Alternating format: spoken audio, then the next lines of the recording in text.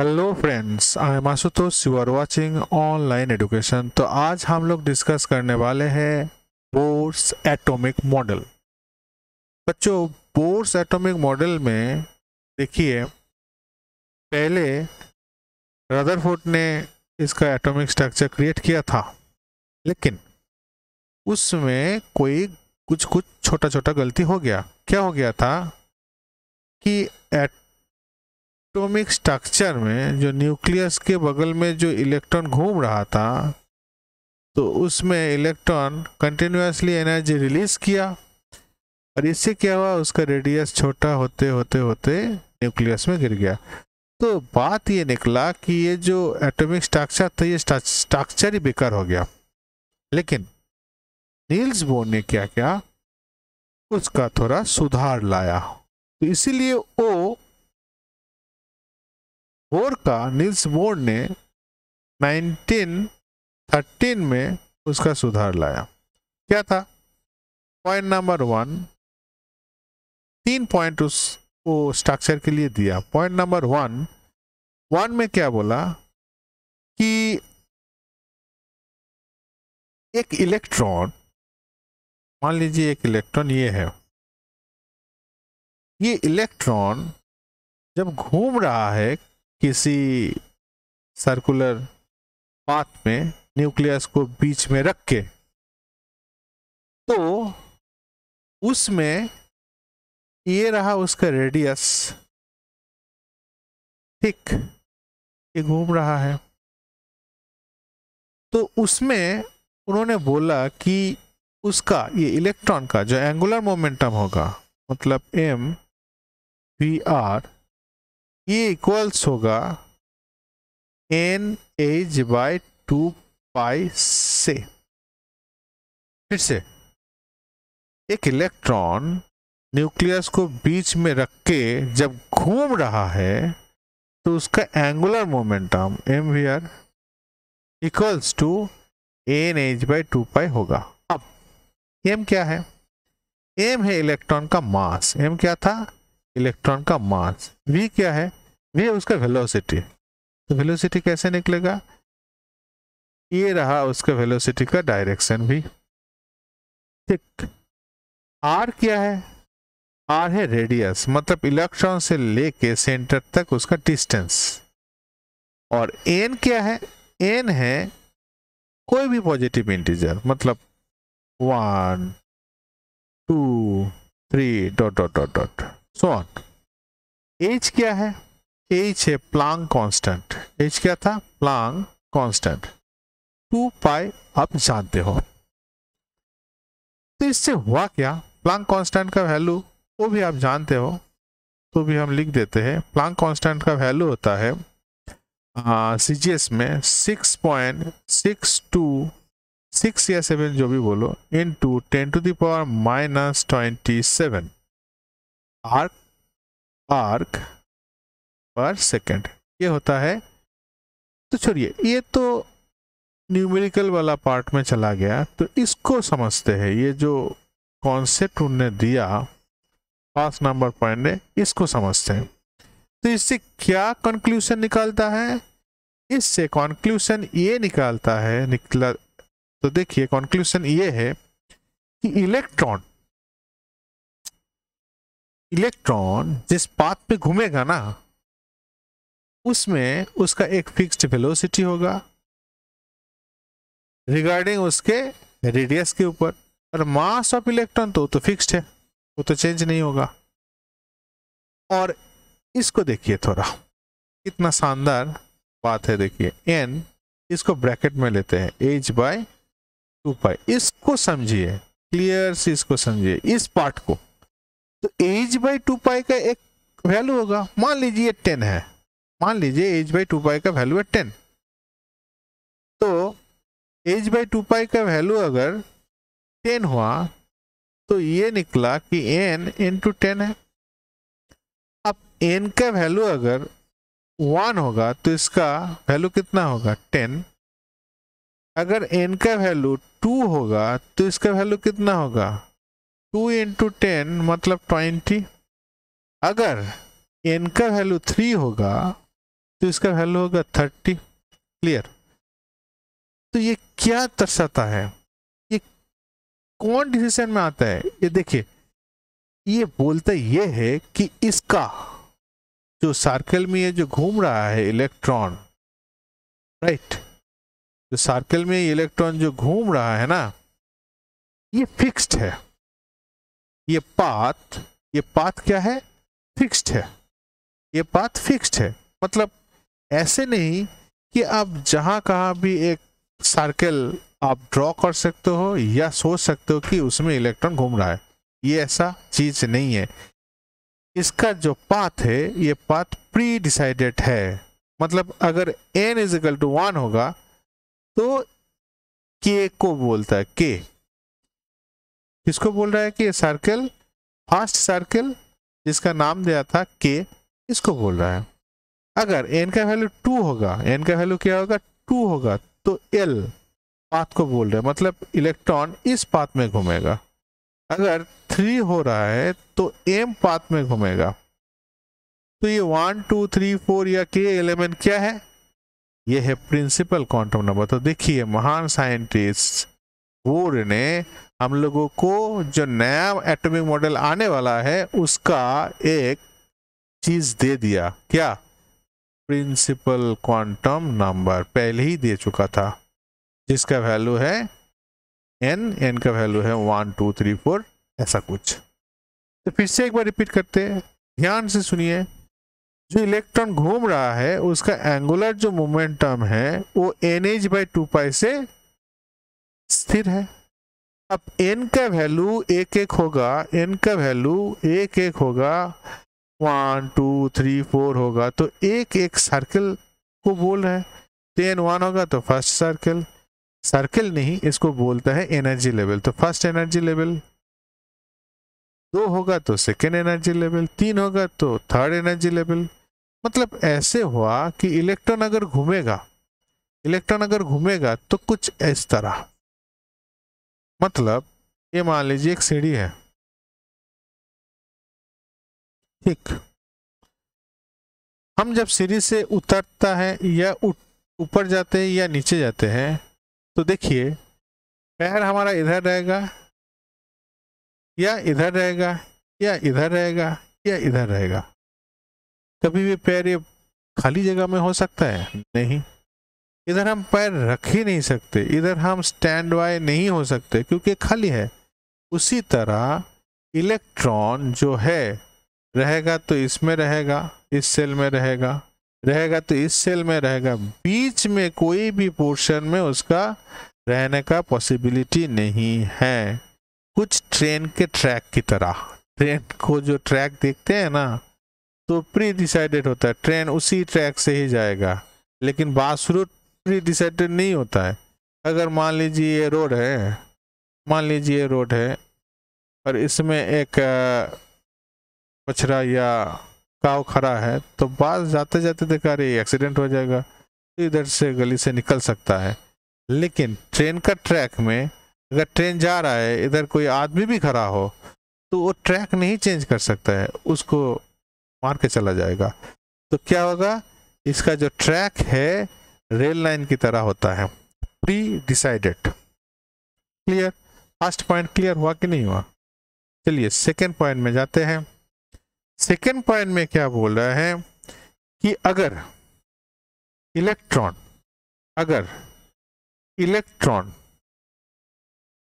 इधर है या इधर है, जिसमें भी है, जो भी सेल में है तो सेल में वो अगर घूम रहा है, सेल में अगर वो घूम रहा है तो कोई एनर्जी वो लेता भी नहीं है, कोई एनर्जी वो छोड़ता भी नहीं है। मतलब इस सेल में अभी घूम रहा है तो कोई भी एनर्जी वो छोड़ेगा भी नहीं, कोई भी एनर्जी वो एडप्ट करेगा कि नहीं। मतलब इस सेल का एक फिक्स, फिक्स्ड एनर्जी लेवल होता है। उस एनर्जी लेवल पे ही वो घूमता है। इलेक्ट्रॉन फिक्स्ड नहीं है, इलेक्ट्रॉन घूम रहा है। सर्कल में, पूरा सर्कल में घूम रहा है। लेकिन लेकिन इस सर्कल का, इस ट्रैक का इस पाथ का एनर्जी फिक्स्ड है। ये बोले थे उसने सेकेंड पॉइंट में। Right right. और क्या बोला था? अगर अगर ये इलेक्ट्रॉन हायर एनर्जी लेवल से, मान लीजिए ये हायर एनर्जी लेवल है, ठीक है ना? तो इधर से अगर लोअर एनर्जी लेवल में कूदेगा तो ये इलेक्ट्रॉन एनर्जी रिड्यूस करेगा। अगर हायर एनर्जी लेवल से लोअर एनर्जी लेवल में इलेक्ट्रॉन कूदेगा मतलब जाएगा तो इलेक्ट्रॉन क्या करेगा? एनर्जी रिड्यूस करेगा इलेक्ट्रोमैग्नेटिक वेव के थ्रू। सेकेंड क्या बोला? कि अगर लोअर एनर्जी लेवल इधर से मान लीजिए, इसमें जा रहा हो या इधर से मान लीजिए इसमें जा रहा है तो एनर्जी वो एब्जॉर्ब करेगा। मतलब एनर्जी लेगा, उसी के बाद ही हायर एनर्जी लेवल पर जा सकता है। तो इसमें देखने वाला बात है एनर्जी तो कई तरह के होते हैं। तो कैसे एनर्जी वो लेगा? जितना एनर्जी वो लेगा, उसके हिसाब से उतना हाइट में वो जाएगा। जितना वो एनर्जी लेगा, उसके हिसाब से वो क्या करेगा? उसके हिसाब से वो हायर ऑर्डर पे या हायर एनर्जी लेवल पे जाएगा। क्लियर ये था तीन बात। मतलब तीन सिस्टम उन्होंने बोला था, तीन कंसीडर उन्होंने किया था वन टू और थ्री इस कंसिडरिंग जो बात था, ये एक बहुत ही रेवोल्यूशन लाया एटॉमिक स्ट्रक्चर में। क्यों रेवोल्यूशन लाया? क्योंकि इससे हम लोग बहुत कुछ आप जान पाते हैं। फ़र्स्ट इसका सक्सेस क्या था? बोर मॉडल का सक्सेस क्या था? देखिए फ़र्स्ट ऑफ़ ऑल इससे पहले जो स्ट्रक्चर हम लोग को मिला था राधार फोर्ट का, उसका कोई वजूद नहीं था मतलब वो तो टिक नहीं पाया। तो इसमें जो हाइड्रोजन का जो न्यूक्लियस पार्ट है और उसमें जो इलेक्ट्रॉन है ना, इसको बहुत ध्यान से सुनिए, क्योंकि ये कॉन्सेप्ट बहुत ही ज़्यादा इम्पोर्टेंट है। इसका जो न्यूक्लियस पार्ट है और इसमें जो इलेक्ट्रॉन है, ये इलेक्ट्रॉन जब घूम रहा है कोई भी सेल में तो एनर्जी नहीं छोड़ रहा है। ये तो बोला है सेकंड पॉइंट थर्ड पॉइंट में। तो पहले क्या था, जब ये हाइड्रोजन एटम को जब साइंटिस्ट लोगों ने क्या किया, इसको पेनिट्रेट किया। ठीक है पेनिट्रेट करने के बाद इसका जो इलेक्ट्रॉन या हाइड्रोजन एक्टिव मोड में चला आया तो ये क्या क्या एनर्जी रिड्यूस किया। इस एनर्जी को प्रिज्म से निकाला गया। इससे निकाला गया? प्रिज्म से निकाला गया। मान लीजिए प्रिज्म से जा रहा है। तो प्रिज्म का काम क्या है? व्हाइट लाइट को सातों रंग में डिस्ट्रीब्यूट करना, है कि नहीं? तो अगर ये प्लेन नॉर्मल व्हाइट लाइट होता तो रेड से लेके वायलट तक एक कंटिन्यूस स्पेक्ट्रम बन जाता। ये है कंटिन्यूस स्पेक्ट्रम देखिए कैसा होता है। मतलब इधर रेड होता, उसके आगे और एक कलर होता, उसके आगे और एक कलर होता। लास्ट में वायलट होता। विप जियो जो सिस्टम में। है कि नहीं? विप जियो जो सिस्टम उसी तरह हो जाता। तो अगर ये सिंपल वाइट कलर छोड़ता तो ये रेड कलर और उसके नियर बाय जो कलर होता है, उसमें कोई गैप नहीं रहता। ठीक, एक कंटिन्यूसली चलता, एकदम ये पर्दे में रेड उसके ठीक नीचे और एक कलर, उसके ठीक नीचे और एक कलर, उसके ठीक नीचे आएगा फिफ्थ का जो सिस्टम उसी से जाएगा। ठीक। ऐसा होगा। लेकिन हाइड्रोजन के बारे में ऐसा नहीं था। मतलब हाइड्रोजन के जब पेनिट्रेट किया गया, उसके, उससे जो एनर्जी निकला लाइट एनर्जी निकला, वो प्रिज्म को क्रॉस करने के बाद ये जो लाइट का जो रंग का जो स्पेक्ट्रम था, वो कंटिन्यूस नहीं था, वो डिसकंटिन्यूस था। मतलब इधर थोड़ा कलर था, उसके बाद ब्लैक था।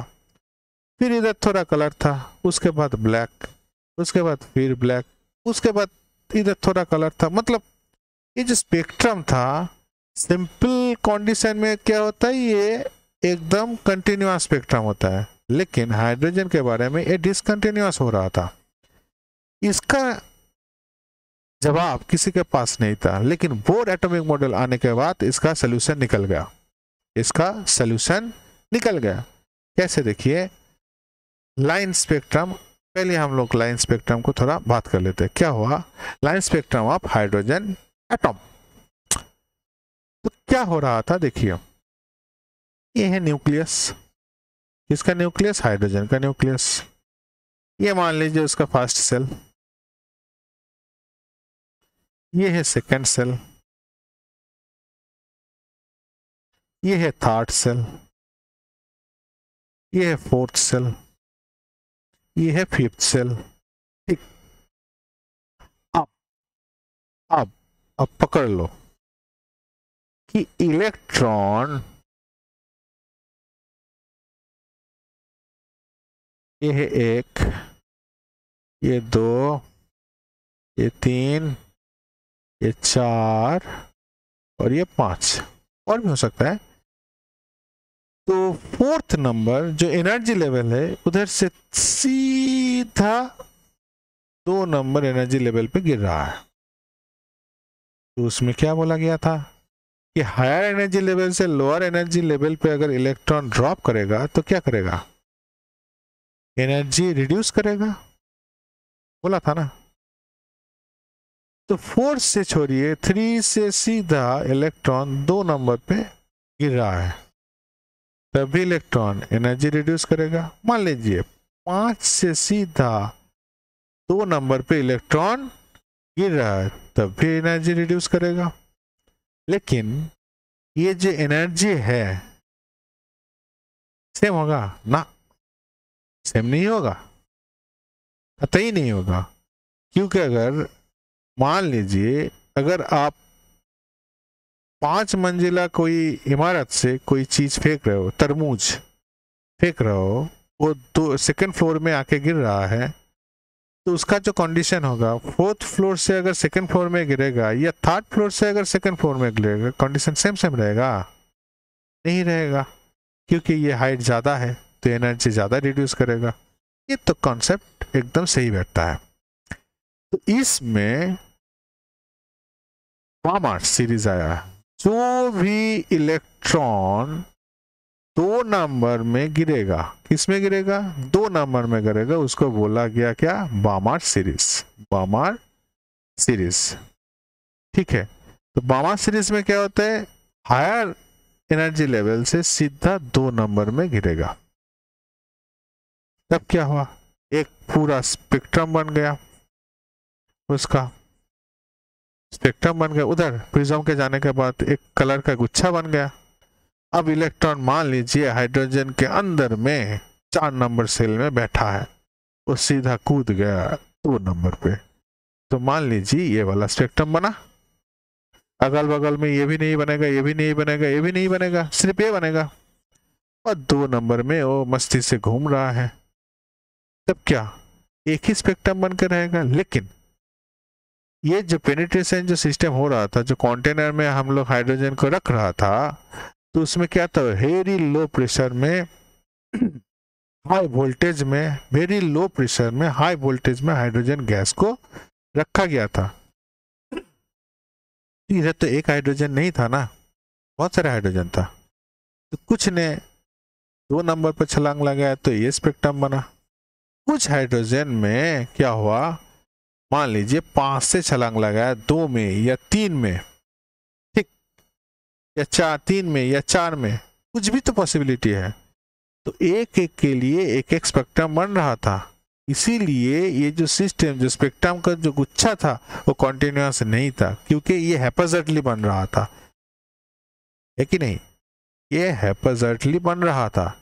इसलिए ये जो स्पेक्ट्रम था, वो कॉन्टिन्यूस नहीं था डिसकॉन्टिन्यूस था। अब तो आपको समझ में आ गया था क्यों ये डिसकॉन्टिन्यूस स्पेक्ट्रम बनता है। तो उसमें एक स्पेक्ट्रम का पूरा टेबल हम लोग देखेंगे कैसे बनता है। देखिए, अगर अगर इलेक्ट्रॉन एक नंबर सर्कल पे, एक नंबर एनर्जी लेवल पे गिरेगा, जहाँ से भी कोई भी हायर ऑर्डर एनर्जी लेवल से अगर एक नंबर एनर्जी लेवल पे गिरता है तो उसको बोलता है लिमेन सीरीज़। क्या बोलता है? लिमेन। अगर दो में गिरता है तो उसको बोलता है बामार। अगर तीन में गिरता है तो उसको बोलता है पैशन। उसके बाद ब्रैकेट उसके बाद फोन्ड उसके बाद हामफ्रिस तो Lyman, Balmer Paschen Brackett Pfund and Humphreys गिरने का तरीके से ये अलग अलग अलग अलग गुच्छा बनता है बनता है। अगर एक नंबर पे गिरता है तो लिमन, दो नंबर पे गिरता है मतलब हायर ऑर्डर सिक्स से भी एक नंबर पे गिर सकता है फाइव से भी एक नंबर पे गिर सकता है फोर से भी एक नंबर पे गिर सकता है थ्री से भी एक नंबर पे। गिरेगा किसमें? एक नंबर पे गिरेगा तो कौन गुच्छा बनेगा? तो लिमन बनेगा। अगर दो पे गिरेगा तो बामान, तीन पे गिरेगा मतलब सिक्स से थ्री चार से थ्री तब क्या बनेगा? पैशन तीन के लिए पैशन चार के लिए लिमन बामार पैशन ब्राकेट पाँच के लिए और छ में अगर गिरेगा तो होगा हम्फ्रीज ठीक है? इतना शानदार मॉडल था नील्स बोर का। और क्या क्या था नील्स बोर के, और और क्या दिया था? तो देखिए, लाइन स्पेक्ट्रम डिसकंटिन्यूस होने का पूरा तो उन्होंने बता ही दिया था कि प्रिंसिपल क्वांटम नंबर था। प्रिंसिपल क्वांटम नंबर, उसका भी कॉन्सेप्ट उन्होंने ही दिया। First energy level, second energy level third energy level ये एनर्जी लेवल को हम क्वांटम नंबर में जब पढ़ेंगे तो इसको बोलते हैं प्रिंसिपल क्वांटम नंबर भैया। क्या बोलता है? प्रिंसिपल क्वांटम नंबर के एल एम एन बोलता है ना? इसको क्या बोलता है? प्रिंसिपल क्वांटम नंबर इसका भी कॉन्सेप्ट उन्होंने पहले ही दे चुका था। दूसरा क्या है? देखिए रेडियस जो है, एक एक क्वांटम नंबर का मतलब एक एक एनर्जी लेवल का जो रेडियस था ना, एक एक एनर्जी लेवल का जो रेडियस था सेंटर से लेके ये एक रेडियस हो सकता है सेंटर से लेके इसका एक रेडियस हो सकता है। ये रेडियस भी तो इस इक्वेशन से हम निकाल सकते हैं M V R is equal to N H by M V R equals to N H by two pi से निकल सकते हैं। है कि नहीं? मास वेलोसिटी अगर पता होगा। एन दो या तीन, जो भी है, अगर प्री डिसाइडेड है मतलब दो में, दो का कैलकुलेशन करे। एच टू पाई का वैल्यू पता है रेडियस तो मिल जाएगा। ज़रूर मिल जाएगा। उसमें और क्या मिल सकता है? जो एनर्जी लेवल हम लोग बोल रहे हैं कि ये फ़र्स्ट एनर्जी लेवल ये सेकेंड एनर्जी लेवल ये एनर्जी लेवल के एनर्जी भी एनर्जी लेवल का कितना कितना एनर्जी होता है, वो भी बोर के स्ट्रक्चर से ही हम लोगों को मिलता है। मतलब एक दिशा ओपन हो गया। आज भी उसका यूज़ हो रहा है। आज भी इसका यूज़ हो रहा है। लेकिन इसका कुछ मतलब डिसएडवांटेज भी था। डिसएडवांटेज नहीं बोलेंगे, इसमें कुछ फेलियर भी था। सबसे बड़ा फेल्योर क्या था? बोर ने जो स्ट्रक्चर दिया, उसमें एक न्यूक्लियस पार्ट था और एक इलेक्ट्रॉन था, एक ही इलेक्ट्रॉन था। मतलब ये जो स्ट्रक्चर है, शायद हाइड्रोजन का स्ट्रक्चर है, या हीलियम प्लस का स्ट्रक्चर है, या लिथियम टू प्लस का स्ट्रक्चर है। मतलब उसमें इलेक्ट्रॉन रहेगा एक। एक से ज़्यादा अगर इलेक्ट्रॉन रहेगा तो कैसे रहेगा? वो किस, उसका सिचुएशन कैसा होगा? उसका बिहेवियर कैसा होगा? वो नील्स बोर्ड ने बता नहीं पाया। ठीक? तो ये सबसे बड़ा दिक्कत था।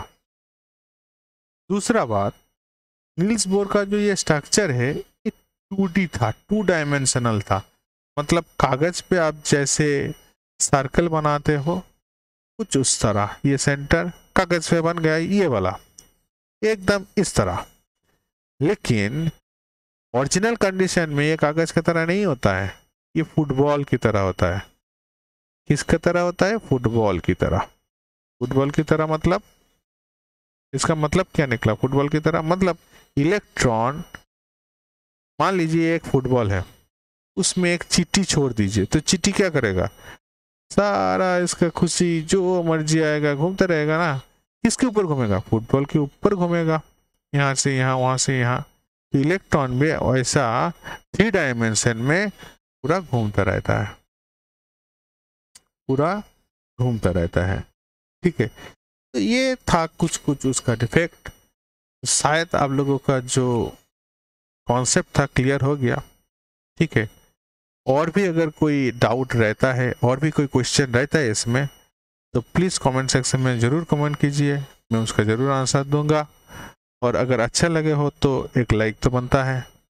और आगे आगे, नील्स बोर के आगे जो है, जो फ़र्स्ट चैप्टर में हम लोग जानते हैं क्वांटम नंबर तो क्वांटम नंबर को जानने के लिए हम लोग लाएँगे नेक्स्ट वीडियो अगर उसका भी वीडियो आपको चाहते हैं तो प्लीज़ सब्सक्राइब कीजिए। बहुत ही जल्दी हम लाएँगे quantum number theory thank you thank you for watching bye bye